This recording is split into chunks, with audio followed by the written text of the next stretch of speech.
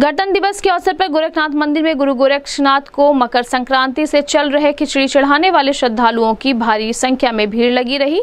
आपको बता दें कि मकर संक्रांति व गणतंत्र दिवस के अवसर पर गोरखनाथ मंदिर में गुरुवार को गुरु गोरक्षनाथ को खिचड़ी चढ़ाने वाले श्रद्धालुओं की भारी संख्या में भीड़ लगी रही। श्रद्धालुओं ने लाइन में लगकर गुरु गोरखनाथ बाबा को खिचड़ी चढ़ाया व दर्शन कर आशीर्वाद लिया, जिसके संबंध में गोरखनाथ मंदिर में दर्शन करने आए श्रद्धालुओं ने बताया कि हम लोग हमेशा गोरखनाथ बाबा का दर्शन करने के लिए गोरखनाथ गोरखनाथ मंदिर आते हैं और हर वर्ष मकर संक्रांति में खिचड़ी चढ़ाने के लिए आते हैं।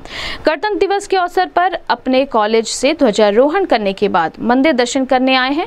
हमको गोरखनाथ बाबा का दर्शन कर बहुत ही अच्छा लगता है। यहाँ पर आने के बाद गुरु गोरखनाथ जी से जो भी मांगा जाए, वह सारी मनोकामना पूरी होती है। यहाँ आकर खरीदारी भी की है और मेला भी घूमे हैं। इस संबंध में गोरखपुर न्यूज़ से बात करते हुए पवन यादव, जेसी और रमन ने कहा। आने पर आपकी प्रतीक्षा कर रहे हैं।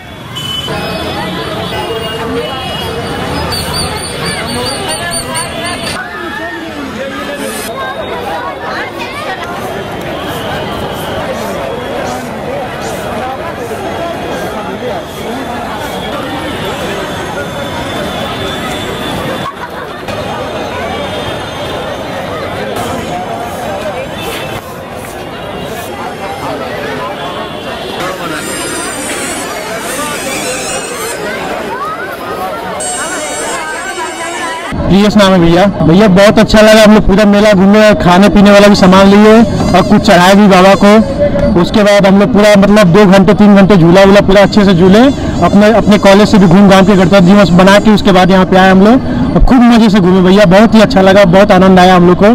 और ये हमारे दोस्त है लोग, पवन यादव। आप ऐसा देख रहे हैं, हम मेले में काफ़ी लोग उमड़े हुए हैं, सभी लोग अपने खिचड़ी के दिन आकर अपना पूरा अच्छे से अपने मना वना रहे हाँ हमने दर्शन किया। हमने खिचड़ी चढ़ाया हमने।